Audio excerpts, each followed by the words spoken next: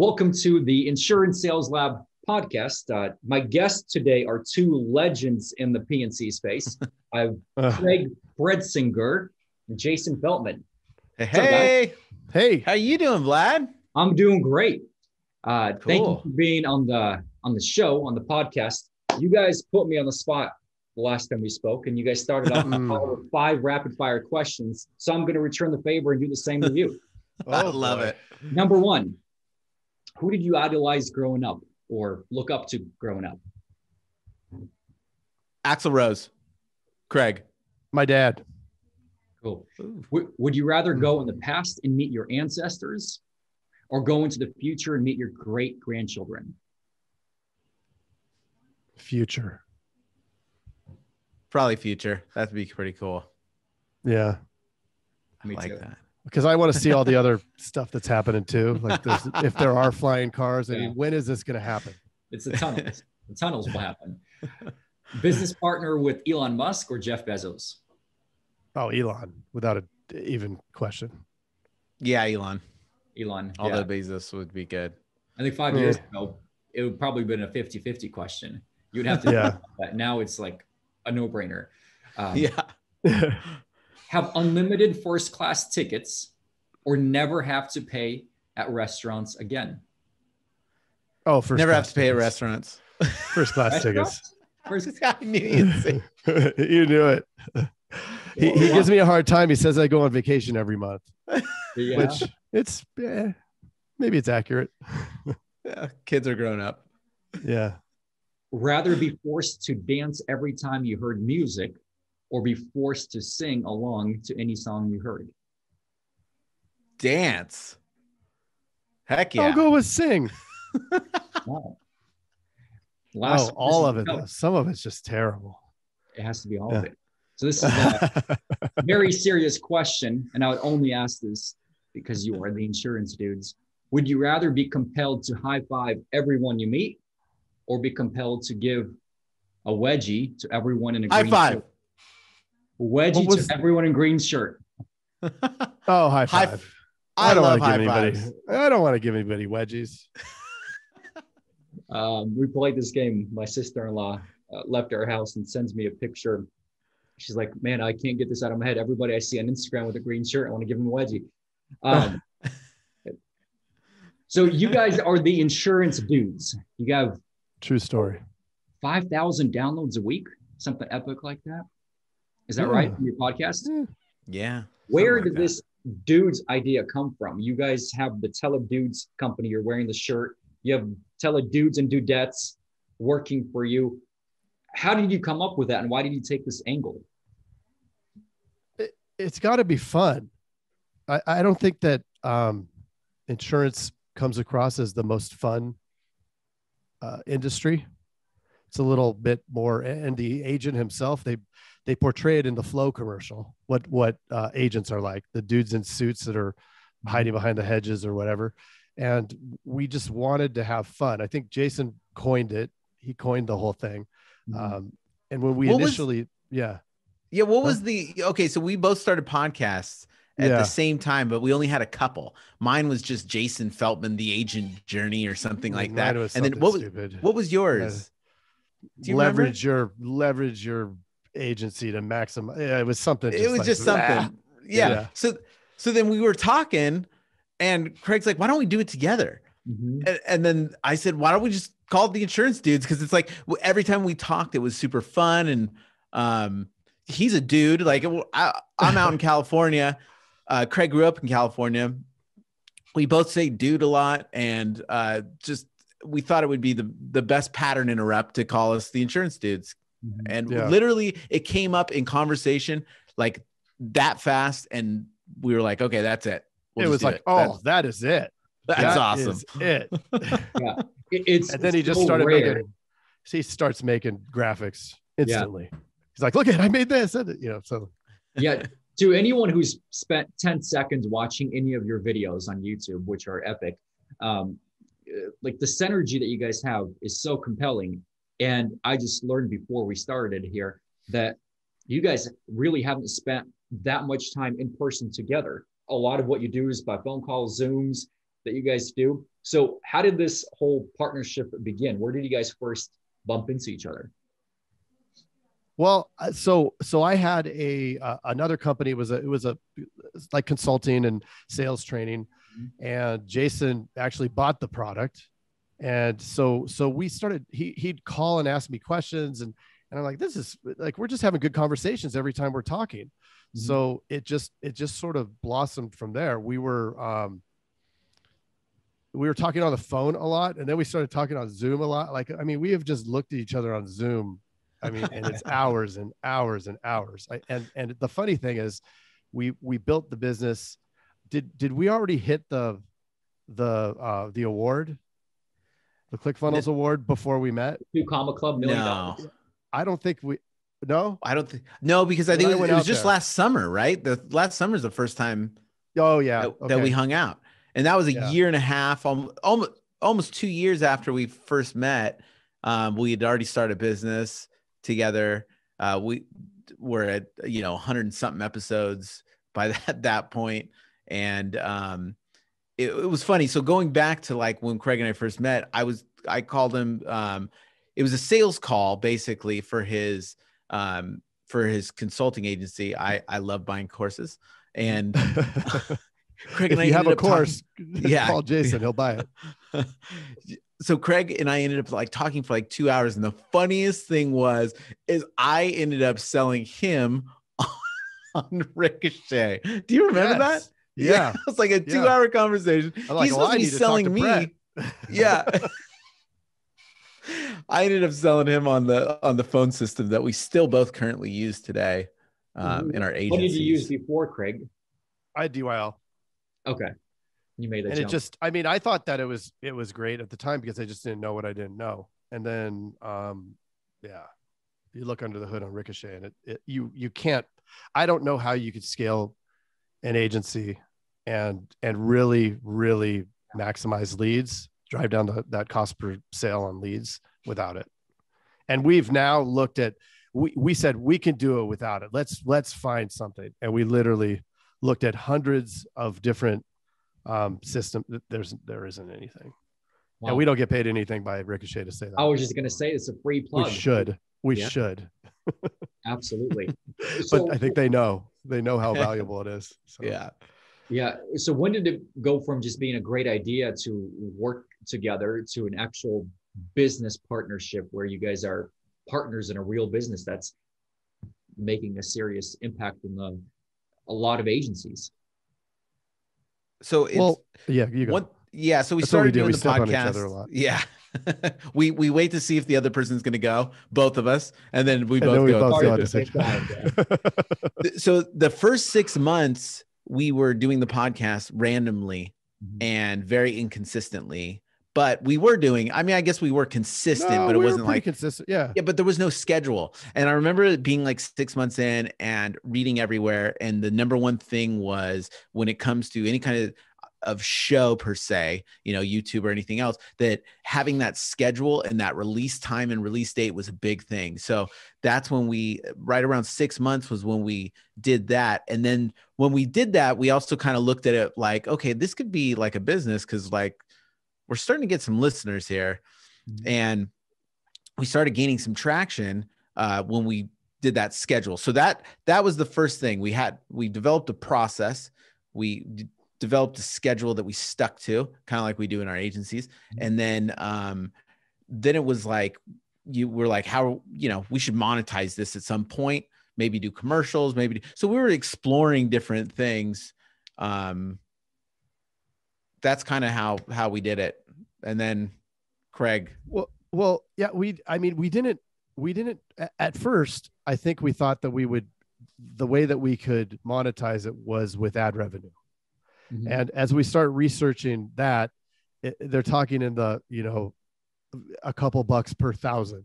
Yeah. Like, okay, well, that's how Rogan makes money, but we're never going to have anything like those kind of numbers just because the the ocean isn't big enough. Yep. And and so we're like okay and and we did we had a couple for a little while we had a couple sponsors but um, it just you know it was it was nothing it was mailbox money and so we kept going back. What are we going to do? What are we going to do? And and as we uh, we we both opened up scratch agencies back in November of 2019, where I was November 2019, he was October 2019, mm-hmm. and we developed a whole process uh, on that on on how to how to buy uh, create basically predictability around it, mm-hmm. and and that started working. And then people start bugging us. How are you doing that? And we're like, oh wait a minute okay, so we have the podcast with listeners and we have a thing that's getting us results and everybody wants to do this. Mm-hmm. Boom, like, you know, push them together. And we realized that that's when Teledudes was born, uh, right at the beginning of the pandemic.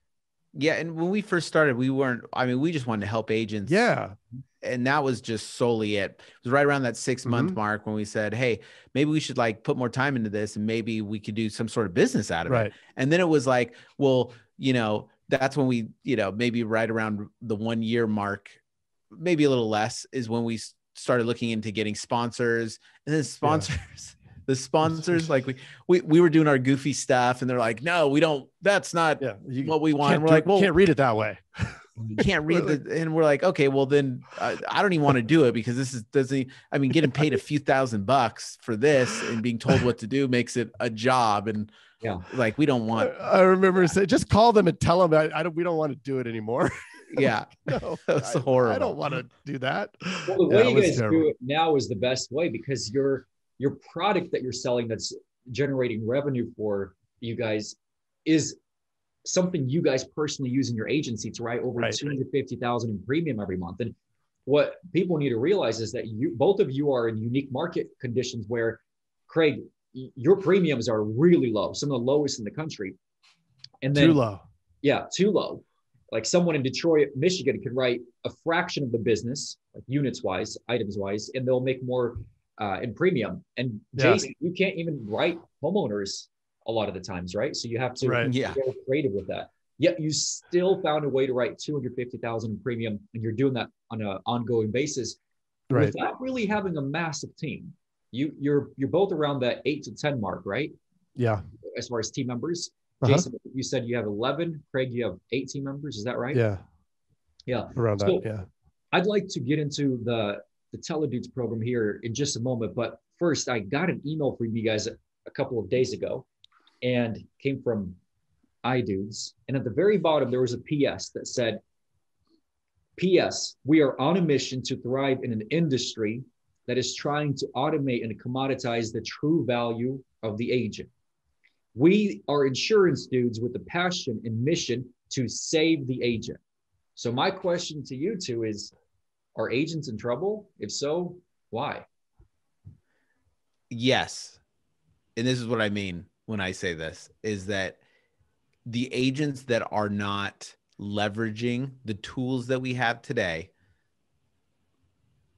are in trouble because they're it's not that they're not good it's just that their their message is not going to get out to enough people um, frank hmm. down the street that might have the best agency in the world that you know has a has a dial up phone that doesn't really you know he has file cabinets when i came into this agency four years ago it was just file cabinets it was a it was a phone through the phone company and it, i literally i have it on the floor over here it has um it's a big box that if one phone number is busy, it rolls over to the next phone number. It's this crazy box. It's worth, I guess it's worth a lot of money. I think it's like a, a relic at this point.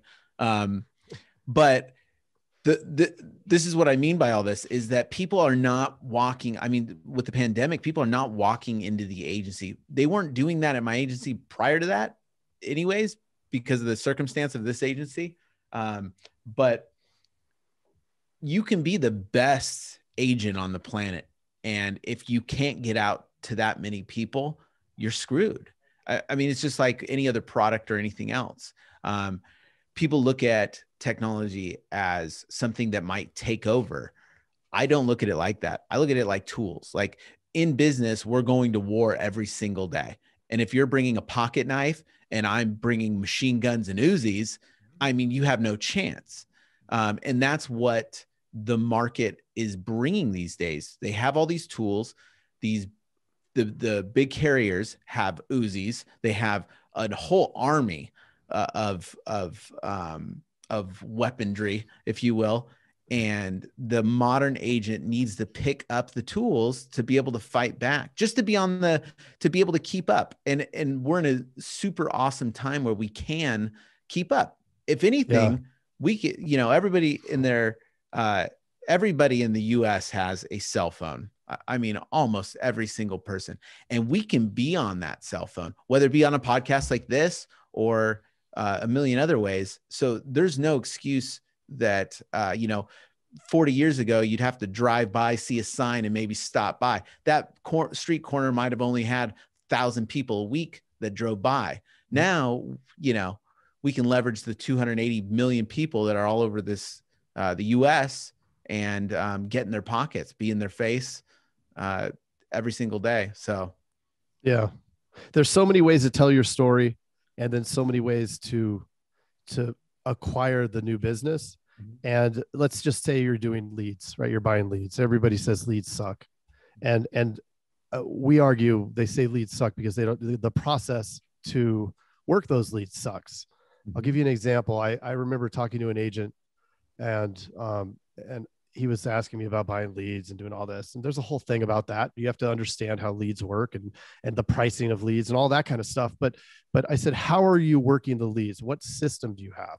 And he said well you know we just have phones and we call them and i said okay well let's dig deeper into that. What what do you do to track your leads? He goes well i put them on an excel spreadsheet.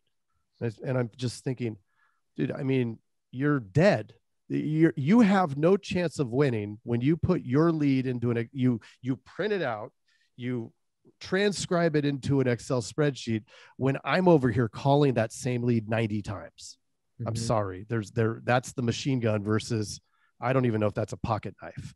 So and the, but the technology is there. You know a year and a half ago i wasn't i i was the guy not necessarily with the spreadsheet, but something slightly better, but nothing close to what I have now. We were writing maybe 70,000 on a really good month in premium. Now it's 250. And, mm-hmm. and I mean, I'm there one tenth as much. Right. Mm-hmm. So it's, it's leveraging the technology and use, utilizing the time you have, which we all have the same 168 hours in a week. If, if, if you're spending that time going through some spreadsheet instead of having that completely automated where you don't even have to look at the leads. Why would you do that? Right. Because then you're taking away from the other time, which is something that you do, Vlad, which is coaching. I mean, there's nothing more important for your team than them being coached. They have to be coached, or, the, or then they're going in with pocket knives. Right. And I know yep. you've seen it. This this business, everybody does a quote a different way every single time. It's like, what? like why don't you like your your whole you know follow this process these steps. If you don't have something consistent you don't have something to train against. You don't have something to measure against and and and create improvement. And yeah. when i when i first started getting into internet leads um, I, I found out that you know with live transfers there's uh, you know there's a there's a limited supply. Everybody wants them because of the low hanging fruit. But then uh, the one thing with leads the most leads that you can get are internet leads. There's so much supply; it's incredible. There's not enough agents to actually um, to buy them all up, right? So then there's two options at that point. One, find the best internet leads, pay the premium, but let's be honest, leads are good. Leads are technically good sometimes or bad sometimes, right? Like they're either ready to buy right then or they're not. Or be better than anybody else at closing the leads. And then doesn't matter what kind of leads you have, just you got to have the best process to close them and be the best at contacting the leads. You know, yeah. I, we talk to people that that say they're spending 25 bucks because they're really good leads. Well, dude, guess what? The contact rate on that lead is the exact same as the $3 lead. Yeah. Yeah. You know, it, and you can have yeah. the greatest technology in place to get people on the phone, but if your people aren't trained on how to sell, then it doesn't matter how many conversations right. you have. You have yeah. team members that spend four or five hours on the phone every day, making over a hundred calls a day, but they're just not closing as much business as someone who makes or just takes incoming calls and or uh, live transfers or makes uh, 40, 50 outbound calls a day. They're just closing a lot more business. So the there's those are two very different worlds. I think we're talking mm-hmm. about getting people on the phone in the most efficient way using technology. So for someone who is not tech savvy, because let's be honest, most agents don't know much about tech. Um, mm-hmm. They don't even want to learn more about tech. It's intimidating. So how can they still leverage technology and be at that cutting edge and be a modern agent in today's hire somebody that can do that? I mean, you have to put some you you can either learn it yourself or get somebody else that can do it, but it has to be done. You know, to your even the original question, you're going to be left behind if you don't embrace the technology and use it because because Frank down the street is going to. Mm-hmm. And this is a very red red ocean, right? The the world of insurance. Yeah. There's a there's a million shingles out here in Tucson. You know, every every corner there's an insurance place why are they going to go to mine? They're not. They're, they're not going to walk in the door. They're not going to call. I mean, sure, we could we could be a little bit better on Google, and then we're going to get a few more phone calls. But at the end of the day, to write 250k, I mean, you have to you have to talk to a lot of people. Right? If you're closing 10%, do the math on it. I mean, yeah. how many? You know, that's a that's a lot of people that you have to quote to get to that spot and I would say like like whoever's listening to this is obviously on the search to find they're they're trying to improve uh, their agency. Mm, they didn't yeah. just stumble upon this, so they're on the right path. Bottom line is model. That's what I did when I first started. I modeled what somebody else was doing because I had no idea what a CRM was. Which mm-hmm. that's the one thing to look up. Look up what a CRM is. Yeah. Uh, yep. But I modeled. I modeled and then I when I modeled them, I found out other agents that were doing stuff that was maybe even a little cooler than I'd model them. And I just constantly that ball was rolling into to what um into what we're doing now, which I think is the is the most efficient system.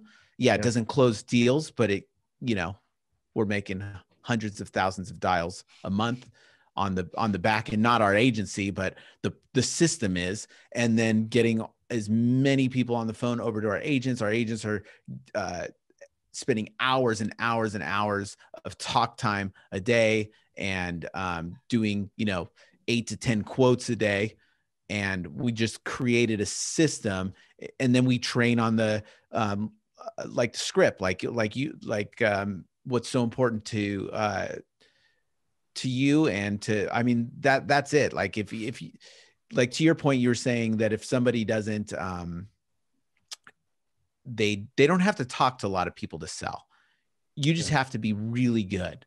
But if you want to sell a lot it's all the components together. It's being able to have a flow of people being able to quote a lot of people and being able to close a lot of people and and not just doing a a cruddy quote because we all know that it, at that point it's going to take 10 quotes to even have a chance to sell one if you don't have a, uh, a rock solid uh, process. So yeah um, i'd like to go deep into your guys' process. How do you get people to be transferred into your agency? Tell us about your teledudes program and how it works. Well something that we something that we learned because we've it's been trial and error. Uh, first jason modeled somebody, figured it out. Then I modeled Jason, and and he he helped mentor this whole part of of my development in, in growing this. And and it's not easy right? Nothing's easy. Everything requires some work but but building it out and then understanding we we do it a lot. Like i'll say what would old craig think? You know and old craig didn't didn't understand the importance of the cost of the cost per sale. Old craig didn't didn't realize that okay, like old Craig wouldn't be comfortable with buying 500 leads a day, spending two thousand dollars on on new business, right? But but it took a while to get there, and understanding the numbers, you have to understand the numbers, and and the beauty of of the system is is we know at each spot what it should look like, and the funny thing is a lot of agents will say well it's you know it's different in my market or it's different. No it's not. It's the same. It's the same everywhere. The only thing that may be different is the close ratio maybe a little bit less but then you can fix that. You can figure out what you need to do. You have to have an input right? There has to be a certain number of quotes that come in. From those quotes you know what your contact is going to be. You know those numbers. Once you have the contacts then you then you know what the transfers are going to be. Then you know what the quoted transfers. And so the, the whole thing creates very, very high level analytics into each step. So if somebody's struggling or somebody's not getting results, the first thing, like this is the agent mentality is, I'm not getting any transfers. This sucks. Mm-hmm. And it's like, okay, well, let's look at where it's broken first, and then we can figure out because it doesn't suck. I mean, we have evidence. We have, you know, 100 agents that it, it doesn't suck for. So typically what we'll find, and that, this is our newest iteration of learning in this, is it's coming down to contact. And so then we know it's it's either their their numbers spammed or or uh, or or the lead quality isn't great, right? Somebody could be put, pumping Salesgenie numbers into there, mm-hmm. and well, guess what?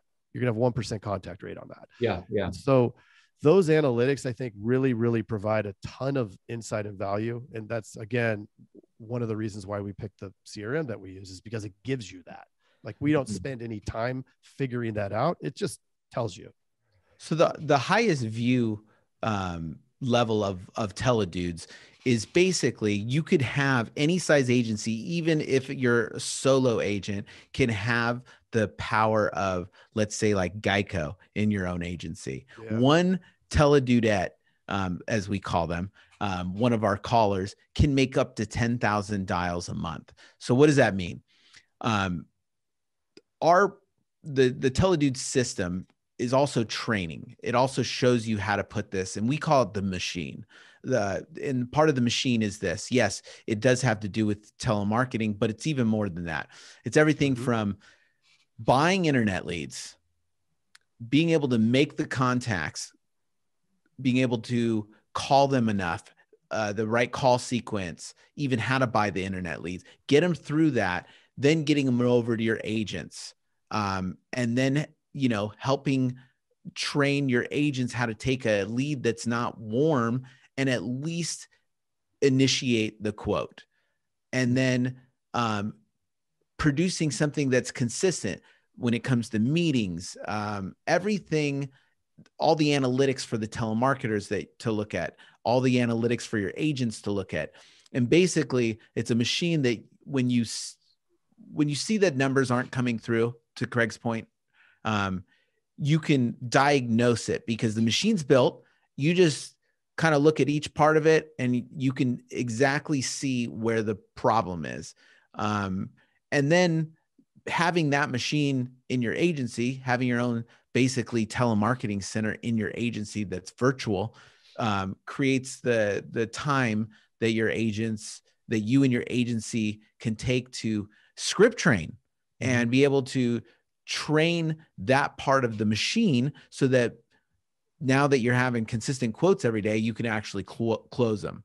So it's just creating this uh, machine where the leads will constantly be followed up with um, because we realized that when agents, two things happen. When an agent, a sales agent, um, is forced to telemarket, um, they will increasingly be discouraged at work. Uh, you know, we've noticed that a good contact rate of internet leads is 10 to 15%. So that means they're only going to get 10 to 15 uh, people on the phone out of 100 uh, calls, which means they're just sitting behind a phone droning out. And this person went through a lot of training, went yep. through um, you know a lot to be in your agency uh, include getting the licenses all this stuff to sit there and just call just keep dialing which mm-hmm. is a very low skill so they're highly skilled trained but they're doing this low skilled job and I, we craig and i uh, when we first started looked at it like the way we set up our agencies a lot like mcdonald's um, in the sense where not not quality wise but um, in the sense of how well a McDonald's is trained, right? That's why Ray Kroc uh, uh, made franchises out of it because he saw the efficiencies out of it. He had each mm. Part of the machine um, getting the most out of that. And when it comes to our agencies and our agents, we want to get the most out of our agents. We want our agents to sell a lot so that they can make enough money for them to justify uh, being in the position that they're in and going through all that training and stuff. And um, it's our jobs as agency owners to figure out the way that um, our agents can sell the most. Uh, a lot, a lot of times, when Craig and I started um, in our own agencies, we talk about it a lot. Is that we tell them, "Oh yeah, you guys got to bring in the sales." Well, as a business owner, you know how silly would that be if um, you know, I don't know. Uh, Best Buy required all their salespeople to bring people into the store and they just didn't do ads or whatever. You know what I mean? Like that's just not how business works. So it's our job as business owners to create a system where um, we can be uh, assured that every day there's a virtual line out the door of clients ready to be um, uh, helped and their yeah. problem solved and um, you know being you know selling them what they need and then having the agent who is trained and that's constantly uh, talking to these clients and being able to um, pro- you know solve their problems and, and welcome them into the agency. So yeah. And we we've even crunched we've we've even even crunched the numbers on that. To to jason's point on the on on those very things you you can't have not only is it discouraging for the producer if they're if they have to go hunt but there aren't enough hours in the day mathematically. There are not enough hours in the day for them to make the dials they need to make to make the leads work and do the 10 quotes their 10 quoted households that they need in order to generate the revenue for the agency that makes them worth being there. So you know just mathematically it's not even possible to do it. It requires a 16 hour workday. And that's where you go okay of those 16 hours and of those activities, where is this highly trained person best suited to be? Doing quotes, right? Doing quotes mm-hmm. all day long, right? And I mean, I remember pre machine, I mean, my people weren't on the phone for even then, they still weren't on the phone for four or five hours like they are now because being on the phone sucked. Like there, it was, it was hunting and they didn't want to hunt. And, you know, a lot of us come, like I come from old school where I was making dials, I was doing all these things. And I used to think, well, I had to do it, so they should have to do it. But mm-hmm. that kind of thinking is doesn't work. You don't, you can't create a culture when you have turnover constantly because the job sucks. So if you create a, a situation where here you're feeding them, well, great. Now they're writing 40,000 in premium each. And if they're writing 40,000 in premium each, everybody's making money, right? They pay for themselves because I may pay them 7,000 for, for their, with the base and the commission off of 40,000. But guess what? That would have taken three people the old way and, and they would have turned over anyway. So what's the cost of that turnover? There's hard and soft costs associated with all of that turnover that plus gray hair, you know, that, that, that comes with that. And so having a culture and in both of our agencies, I, I, mean, before the thing, I, you know, I said I had to let a couple people go, but in the last year, nobody's left. Nobody's left voluntarily. Just mm-hmm. most recently, two people, you know, had to be had to be escorted out. But the, but that's that's a total switch from what you hear it's a total switch from what I have, my experience was previously and from what you hear in agents. I mean, you ask how's your staff? And they're gonna, oh, oh God, staff's the worst, right? They go this whole diatribe about that. And and it's like, you know, I love my staff. Mm-hmm. They're they're I don't like to call them my staff. I like to, they're my team. They're awesome. Mm-hmm. Um, and they like being there. Right. We just had a like I I don't want to bring it up, but I'm gonna I'm gonna bring it up because it's because I know it's it's just crazy. I can't believe they said it.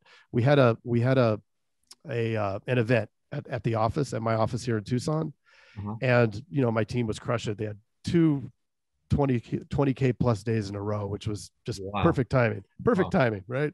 But everybody, um, all the people that were there, all of the agents, some really awesome agents from all over the country they went out there they're like why do you you know why do you do this? You got you're jammed into a room which they choose to be in. They, yeah, they yeah, want to all be jammed in this one little room and i have it's a big office. They want to be in this one area the bullpen. And and they all asked him you know why are you here? And and i mean i i did not tell them to say it i can't believe but they said because of me and i i was like wow. You know that isn't something that i've experienced ever. And it's the it's the flip from you know providing you provide the leads you get the return you provide the training you get the return you give them all the things that they're not getting at any other agencies i mean health insurance uh, the you know these a higher base like all of these things that people are like, oh, well, I want to do that because there's turnover. Well, there isn't turnover because of that. And so it's just worked out really well. And it's it, it's a great system. So what you guys have effectively done is you've taken a skilled position, and I believe that anybody who's licensed as a P&C producer, it should spend most of their time doing that, not leaving voicemails 90% of the day, which right. is what most team members do. So I think for agents who are listening to this that have never heard of teledudes, this is the first time they're seeing the two of you. When they start working with you guys, they pay for one or two teledudes, and the agency say has three team members, one service rep, two sales producers. What can they expect on a daily, weekly basis when they work with you guys in terms of lead transfers? How many transfers can they expect? Um, what what's the average? Don't give me the uh, definite numbers because it really varies. But like, what are we talking about in terms of cost per transfer? Uh, like, what's the range? Uh, if you can get into that, I'd like to learn about that. Yeah, so each of our telemarketers um, usually make they they definitely make over 500 calls a day, mm-hmm. um, and then it really comes down to contact rate. So if they're um, they're transferring right around a 10 percent uh, of the people that the contacts that they get. So if you're having a two percent contact rate, something that awful, and they're making 500 dials, um, that's only 10 people. There that that's only one potential transfer at that point. It's not going to get you much.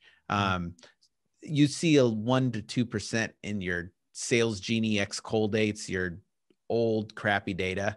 Um, you know, with a lot of uh, more like newer leads, um, you can get you know 15 uh, 15% uh, contact rate. So then you can see with the 10% what, what is possible at that point. Um, but there's a there's a really cool thing. The the cool thing about the the system is it's your telemarketer. So she works for you. She's going through your data. Um, we've noticed that uh, 68% of sales happen actually between the 18th. What is it? The um, 8th and 21st. 8th and 21st dial. So as leads come into the system, they're not going to. I mean, they're they're probably going to get like one to two uh, quote because we hold them accountable to quoted transfers because a, transfer without a quote is is worthless. Um, uh, so we hold them. Yeah. okay. Yeah, and which is actually makes a really cool thing. So they're all on the same team. So you know the teledudette really helps the agent. Like, hey, did you quote him? Did you quote him? Like, we got to get this thing quoted. So they're they're pushing your team, um, and you don't have to eh, because they're both being uh, held accountable to quoted transfers. And so you might see like two a day. Some people knock it out of the park, but you might see one to two a day the first the first week. Um, you know, second week maybe two but as that data gets towards those 20th phone calls and stuff, now that pipeline's filled. Now you have data in there for a few weeks. Now you can start seeing um, if you have some good data in there that you're getting a 10% contact rate. Now you're starting to see um, we're seeing about an average of five to six transfers a day, uh, quoted transfers today with those kind of contact rates. See, that's yeah. fascinating because uh, there are a lot of companies out there that do live transfers. And then one metric they look at is the transfer. We gave you the lead. Your job is to close it. If the person hangs up, well, that's your fault as the agent. Right. Where right. you guys take it a different, a completely different approach through feedback and talking to agents that use your program. What agents really care about is how many people that get transferred over to the agency actually get a quote. And that's the metric that you guys look at. And I think that's pretty fascinating. So um, well, I think you brought up something really important there, Vlad, and I'd like to like to address that. Yeah. So we're agents and and we understand agents and and if you read our mission statement, like we truly want to save the agent. We we want agents to be successful. I mean, we we talk to people and we'll say, "Hey, look, it may not work if if you're not coachable, this and that," because it is a different way of thinking. But but the lead company who gives the transfer they don't care we've we've met with lead companies and they've said to us we understand that the turnover is so high with agents mm-hmm. that you know we need to blah blah blah whatever and and it it really struck me because they don't care right? They just care about filling like, hey, we know that we're going to have turnover with this agent because they're not going to be successful. So we need to get as much money up front and then they're going to leave in three months. Well, guess what? We have a 90, it's what was it, 97% retention with with the teledudes. So so people stay because we help them be successful.